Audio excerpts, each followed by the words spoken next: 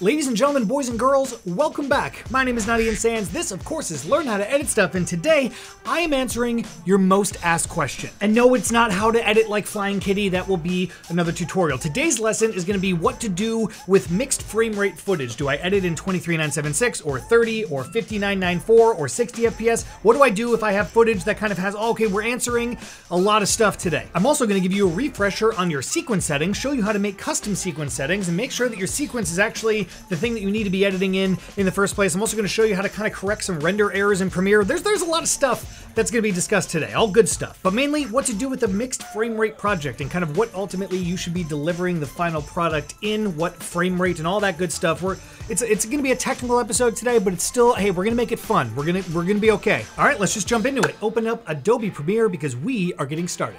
All right, boys and girls, Adobe Premiere is open, and in my project over here, I've got a bunch of clips ranging all the way from 23976 FPS all the way down to 119.88 FPS. And what do all these numbers mean? What is drop frame time code? Is 23976 different from 24? Eh, technically there is no difference in drop frame time code from its other counterpart, right? So 23976 and 24 FPS are actually the same thing. They're just methodologies of counting the different frames. The old way of doing it was related back to broadcast, and they would have to do everything in 24p because drop frame didn't exist. But then when drop frame came around because of progressive and interlace technology, then it kind of switched over. There's a lot of nuance and historical data behind all of these different numbers, but what you need to know is that there is no difference between 23976 FPS and 24 FPS. I'm recording right now in 24p because that's what this camera records in, but I export all of my videos to 23976. There's no sync delays, there's no anything. It's just a way for the computer to count the frames. 2997 and 30 FPS are the same, 5994 and 60 FPS are the same, 119.88 and 120 FPS, they're all the same thing basically. Now in my research, I did read that if you have a timeline that's like 300 minutes long and you have one at 24 and one at 23976, the one at 24 will actually be a few seconds longer longer, but I'm not gonna test that because I'm not making videos that are 300 minutes long right now. I'm making short, simple videos, and I'm not affected by timecode or frame rate or whatever. Okay, now that being said, you have to know where you're going with your video. You're not gonna wanna shoot a bunch of stuff in 60 FPS if you're planning on delivering in 23976 or 24 because things might get a little bit dicey. So I always tell people this, you have to know where you're going. What is the end result you're getting to? If you're doing a gaming video, a lot of gameplay and that kind of stuff, 60 FPS might actually be the thing that you want to use use, but if you're making a YouTube video, a tutorial, a how-to, a cooking video, whatever the case is, you're gonna wanna be more towards that 24p 23976. And 30 or 2997 is kind of a weird one because it really only existed in television, NTSC broadcast type stuff, and a lot of people aren't really doing that anymore these days. So eh, you can use 2997, 30 FPS if you want. I prefer 24p or 23976. So what if I have 60 FPS, 30 FPS, and 24 FPS footage all in my project? Ian, what do I do? First, you have to look at all your footage and see kind of what you have the most of. If 80% of your footage is all 60 FPS and then 20% is in a different frame rate, you might want to consider doing everything at 60 FPS because the majority of your footage kind of exists in that realm. And the same goes for the opposite. If you shoot most of your stuff in 24p and you have a couple clips that are in 60 or 120, you're not necessarily going to want to do your video output in 120 or 60 because a majority of your footage doesn't exist there and you will have problems stepping up in frame rate. So 23976 is going to have a much harder time translating over into higher frame rates than the other way around. You can drop frames and bring things down. 60 FPS will look good at 23976, but the opposite is not true, and I'm going to show you exactly why right now, right now. So I've got a bunch of sequences kind of set up. One's at 2397, one's at 2997 and 5994, and then the non-drop frame equivalents right here. So I'm gonna drop this clip right here of this car driving by at 23976 onto my 23976 timeline, and Premiere gives me no errors, and here's this car driving by looking really good. Now you'll see if I go frame by frame, the car is moving in every single frame because it was shot in 23976 and that is what my timeline exists in. So everything is looking good. If I drop this same exact clip into a 5994 timeline, Premiere is going to give me this mismatch warning. This clip does not match the sequence settings. Change sequence to match the clip settings. I'm gonna hit keep existing settings, which is gonna keep my sequence at 5994. Now check this out, guys. I'm gonna go frame by frame and I'm hitting the button, but the car is not moving. And this is a very weird thing when you put 23976 footage into a 5994 timeline. Two frames, it's just still. It's static. It's absolutely static, not moving at all. And then I go over one frame and it moves. And then we have a blank frame and then it moves. And then we have two blank frames and then it moves. And this is something really weird that you notice if you go frame by frame. But if you actually watch this, it doesn't look tremendously different. Maybe it's a little bit stuttery, maybe it's a little bit laggy, but overall you don't really notice the difference when you're playing it back. But there is a difference. It's kind of laggy and it's kind of stuttery, and maybe you don't notice while you're working on it, but certainly if you have 60 FPS footage next to a clip that was shot in 23976 conforming to 60 FPS, you will 100% notice the difference. So those of you that have used a dolly or a slider and you shot everything at 23976 and then you drop it in a 60 FPS timeline or whatever, you're gonna notice a weird lag and stutter, and that is why, because Premiere is trying to compensate for frames and it's like adding some in to get to the 5994, but then it's like dropping some out because it, it's stupid, is what it is. So take my advice. It's probably why you're watching this video in the first place, but edit your project in the frame rate that you have the majority of your footage in, and that will solve a lot of problems. So I'm in my 23976 timeline. I'm gonna delete this clip right here and I'm gonna drop in this clip of a car driving by at 120 FPS and I wanna make this slow motion. But when I drop it onto my timeline, because I shot in 120 FPS, not S&Q, uh, it just plays in real time. So this is 120 FPS footage in a 23976 timeline. Now there are two ways for me to slow this down and get it to be nice, buttery, smooth slow motion. One is clicking on the clip, hitting Control R to get my time controls, and then lowering the speed down to 20%. You can go all the way down to 20% at 120 FPS. And now, ladies and gentlemen, I have an exhaustingly slow video of this car driving by, and it looks really, really nice. Now, if you don't want to change the clip directly on the timeline, there is another way that you can do this. If you come over to the clip in your bin, right click on that and go to Modify, Interpret Footage, you can actually set the frame rate of that footage in Premiere. So instead of using the 119.88 frame rate, I'm going to assume this frame rate and I'm going to type in 23976 and click OK. And now that clip, ladies and gentlemen, will actually be conformed into slow-mo at 23976. So I no longer have to slow it down in Premiere. It will just automatically exist in slow motion. Now, I personally don't like to do it this way for one reason only, and that's because it changes the frame rate in my bin to say 23976, and so I assume that it is not a slow motion clip based on this frame rate. I like to see a higher frame rate because then I know, oh, hey, this is a slow motion clip. I can slow it down if I need to.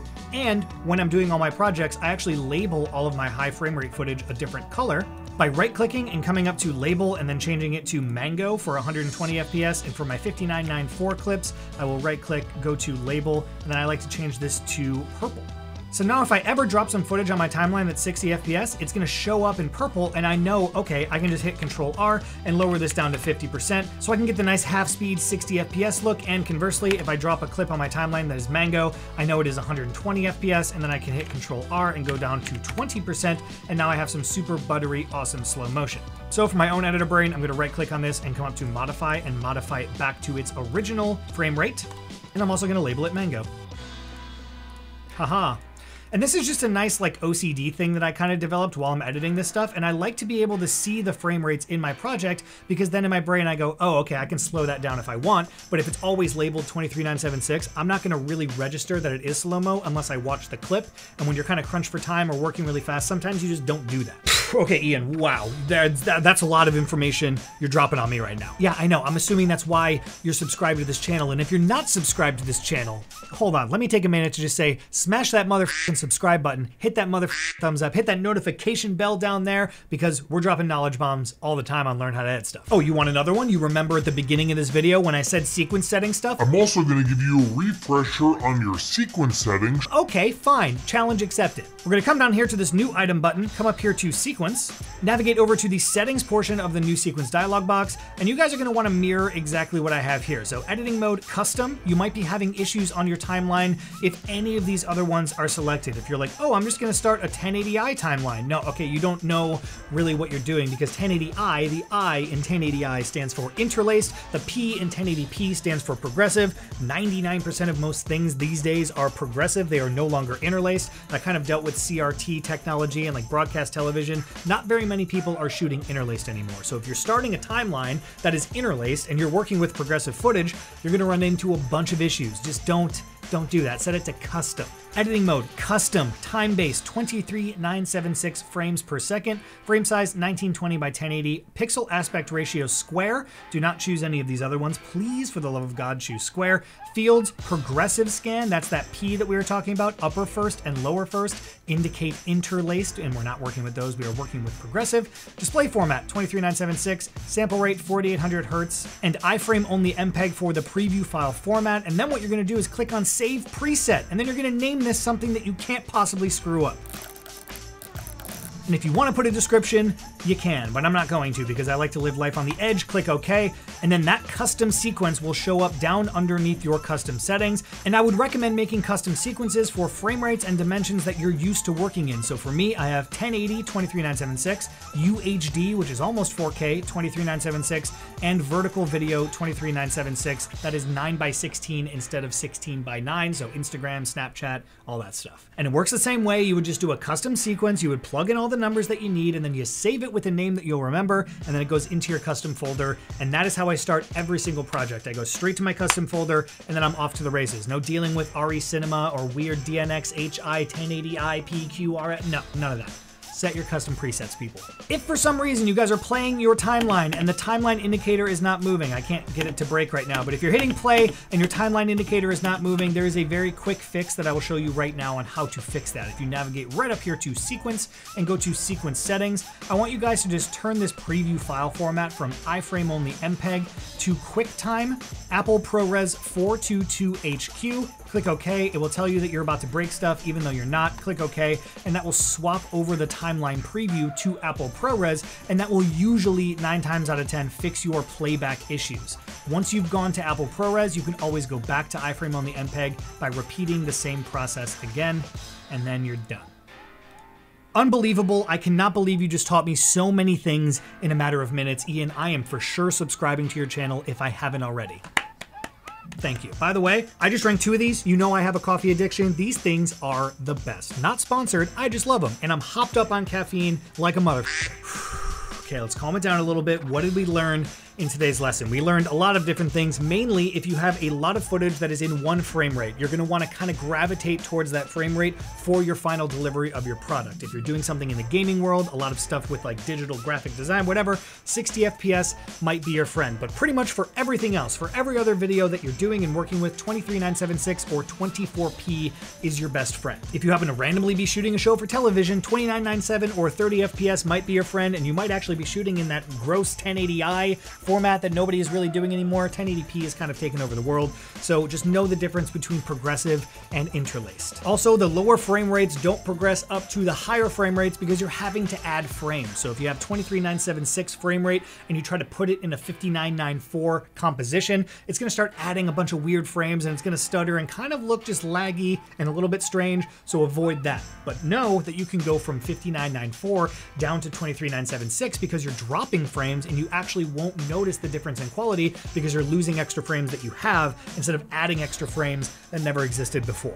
And that's it, guys. I, I, I there's there's a lot of numbers. I said 23976 way too many times for this video for me to feel comfortable. But if you made it this far, thank you so much for listening to me ramble on about frame rates. This stuff actually is very important. You guys are coming to me because you want to make the best videos possible, and I am here to give you as much knowledge as I possibly can. So, hooray for both of us. If you haven't done it yet, please consider subscribing to my channel, dropping a thumbs up on this video, and dropping a comment in the comment section below. Also, in the video description, you will find a Linktree to a bunch of goodies, a bunch of stuff that I really love that you can get your hands on to kind of step up your post-production game overnight, instantly, in a matter of minutes. So go check out everything. All my social media is in that Linktree link as well. Thank you so much for watching this video, and I will see you next time.